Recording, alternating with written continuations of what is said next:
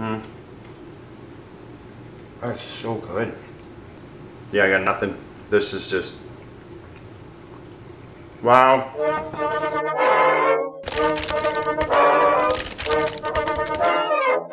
The hamburger. My, what a thing. The variations, sacrileges, and improvements are as numerous and colorful as lint in a belly button. But before the fire, there is the ever important four letter word. I'm using French Charolais cows, grass fed and raised in sunny, sunny New Mexico. Actually, there was some speculation as to whether or not these French cows would need to wear sunscreen as they grazed.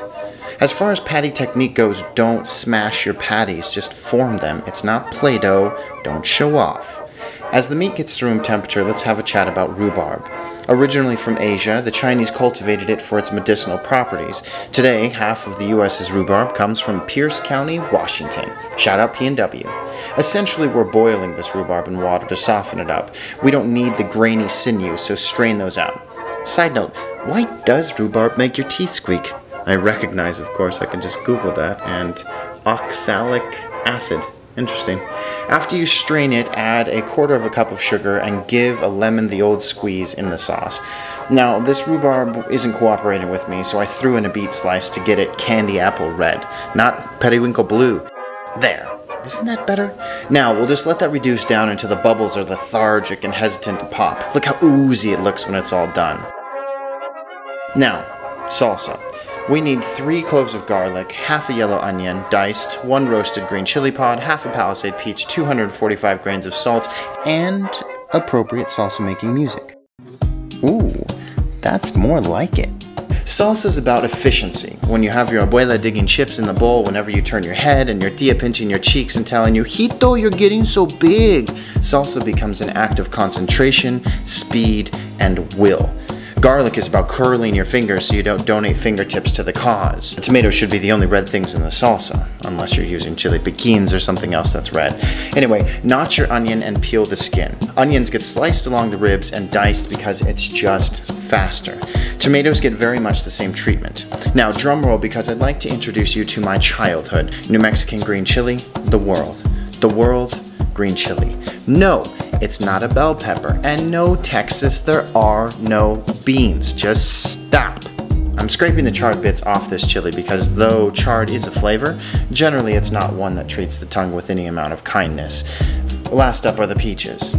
Ew, what is that? Oh, bacon grease. Saving bacon grease makes sense. Remember how the last few pieces of bacon you cooked were the best? That's because you were frying them in a quarter inch of their own grease, so why not start there? The second bacon tip I have comes from Korea, where they snip samgyeopsal with scissors to prevent the meat from curling around itself. I'm putting in a handful of hickory chips before laying the patties gently on the grill. Toppings ready? Check. Cheese and bun time.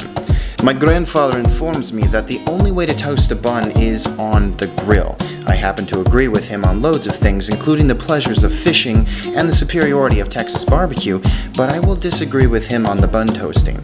So, let's welcome some rich, buttery garlic to the party. And with that, let's grab the burgers and cue the music.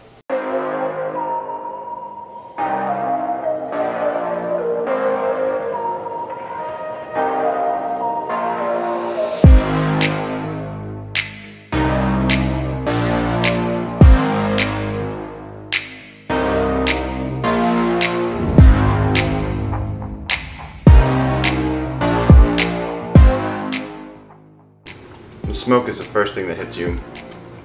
It's got some cheese, peaches, got sweetness, that tang hitting you in the back of the taste buds of that rhubarb. That's sweet with the smoke. It's a classic rib trick. Peaches are such a star. Wow, that's so good. Yeah, I got nothing. This is just ridiculous. Look at my green chili, a little bit of spice kicking in. Just got a hit of mayonnaise on that one. Little bit of that garlic that we put in that butter. Mmm. Mm-hmm. Do this at home. Do it with that rhubarb reduction because that was money. Don't eat crappy food. Live intentionally. Eat intentionally.